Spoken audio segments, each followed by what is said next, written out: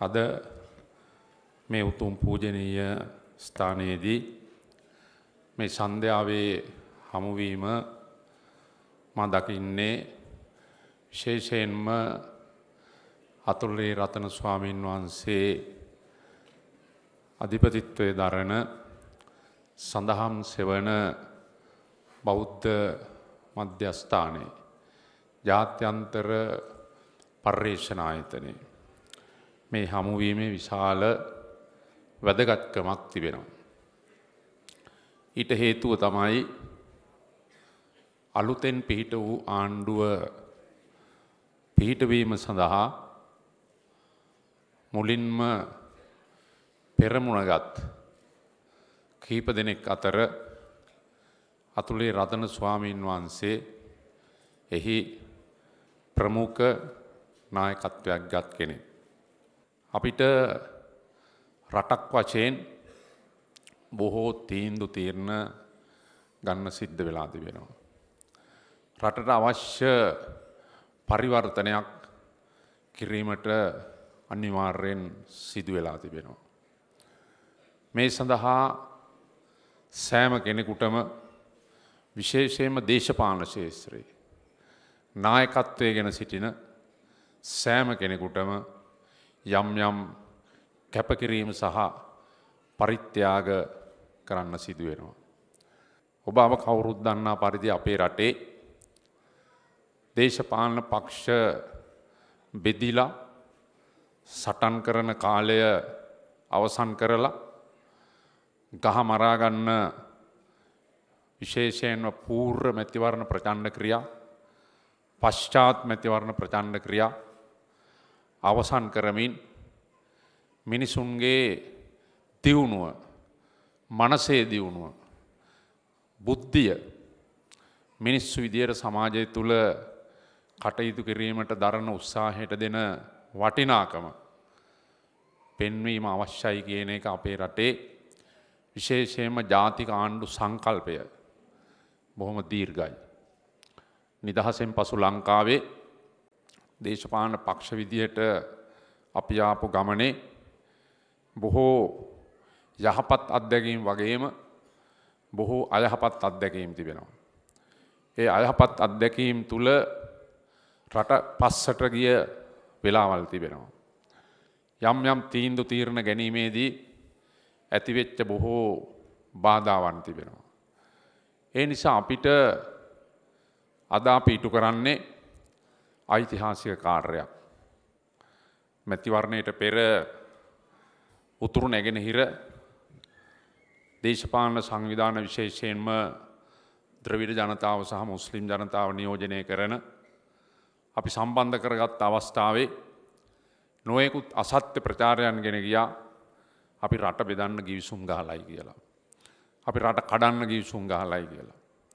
උතුරේ හමුදා අයින් කරගන්න අපි එකඟ වෙලා කියලා. නොයෙකුත් එවැනි ප්‍රචාරයන් ගෙන ගියා. ඒ සියල්ල තුළ ජනතාව බුද්ධිමත් වුණා. ඒ සියලු ප්‍රචාරයන් අසත්‍ය ප්‍රචාරයන් ජනතාව ප්‍රතික්ෂේප කෙරුවා. දීර්ඝ කාලයක් රටේ ජනතාවගේ බලාපොරොත්තු වූ ජාතික ආණ්ඩුවක් පිහිටව යුතුයි කියන අපි ඉදිරිපත් කළ මැතිවරණ ප්‍රකාශනය ජනතාව අනුමත කළා. ඒ අනුමත කිරීම වගේම අපේ ජයග්‍රහණයෙන් පස්සේ රටේ සහ මාජනතාවගේ ජයග්‍රහණයෙන් පස්සේ අපි තවත් වැදගත් පියවර කීපයක් පහුගිය දවස් දහයක් ඇතුළත අපි අරගත්තා. ශ්‍රී ලංකා නිදහස් පක්ෂයේ ලේකම්වරයා එක්ෂත් ජාතික පක්ෂය පිළි අරගෙන ජනාධපති අපේක්ෂකයා විදිහට පොදු අපේක්ෂකය බවට අනික් ජාතික හෙළුරුමේ ඇතුළු පක්ෂ ගණනාවක් පිළි අරගෙන ඒ කටයුතු කල්ලා ජයග්‍රහණය කිරීමෙන් පසුව ප්‍රධාන වශයෙන්ම රට තුළ විදායක ජනාධපතිවරයකුට තිබෙන අසීමිත බලතල පිළිබඳව. අපි කතා කරලා එ ලැබූ ජයග්‍රහණයත් එක්කම. එතනින් එහාට යන්න තිබෙන බාධාවන් ඇතැම් අය තේරුම් අරගෙන හිටියේ නැහැ. මේ ජනාධපති දූරයේ කොතරං අසීමිත බලතල තිබුණත්. මේ පත්වෙන ජනාධිපතිවරයෙකුට තමන් බලාපොරොත්තු වන පොදු ජාතික වුවමනාවන් ඉෂ්ට කිරීම සඳහා. පාර්ලිමේන්තුවේ බලය නැතුව අඩියක්වත් ඉස්සරහට යන්න බැහැයි කියන එක බොහෝ අය තාමත් තේරුම් අරගෙන නැහැ. ශ්‍රී ලංකා නිදහස් පක්ෂයේ සභාපති දූරයට මාව තෝරා ගැනීමත් සමගම දෙපාර්ශවයේම එක්ෂත් ජාතික පක්ෂයේ සහ ශ්‍රී ලංකා නිදහස් පක්ෂයේ ගම්මට්ටමේ සහ ඇතැම් වෙලාවට ඊට ඉහළ තලවල මේ පිළිබඳව යම් යම් කුතුහලයන්න එක්ක නොසන්සුන්තාවයන් ඇති වුණා. මගෙන් මේ ගැන බොහෝ අය ඇහුව ප්‍රශ්න කරන්න ගත්තා. එක්ෂත් ජාතික පාක්ෂිකයින් කල්පනා කළා අපි පත් කරගත්ත ජනාධිපතිවරයා ශ්‍රී ලංකා නිදහස් පක්ෂයේ සභාපති ධූරය අරගෙන මේ මොකද කරන්න හදන්නේ කියලා හිටන්. ශ්‍රී ලංකා නිදහස් පාක්ෂිකයින් කල්පනා කරන්න පටන් ගත්තා. ආණ්ඩුවෙන් පක්ෂයෙන් එලියට ගිහිල්ලා ඒගොල්ලන්ගේ අදහසානුව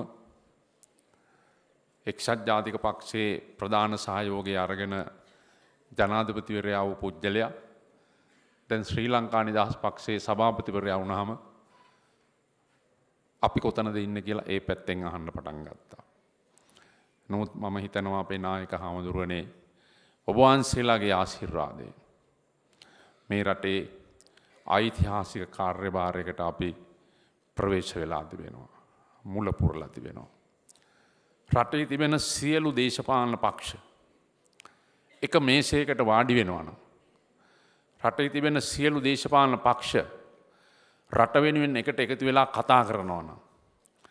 රටේ තිබෙන සියලු දේශපාලන පක්ෂ රටට එන අභියෝග ජයග්‍රහණය කිරීමට යම් සහෝදරත්වයක් බැඳීමක් ඇතුව කටයුතු කරනවා නම්.